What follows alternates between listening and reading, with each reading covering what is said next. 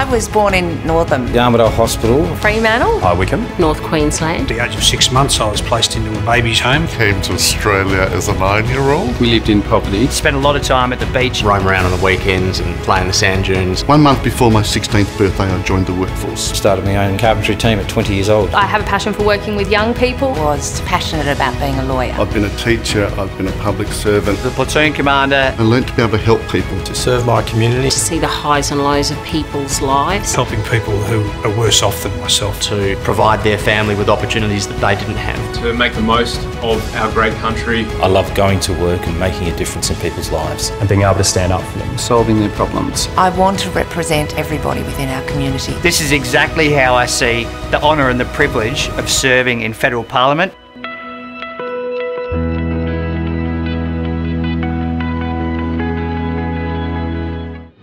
Authorised S. Calabrese, Liberal Party Perth.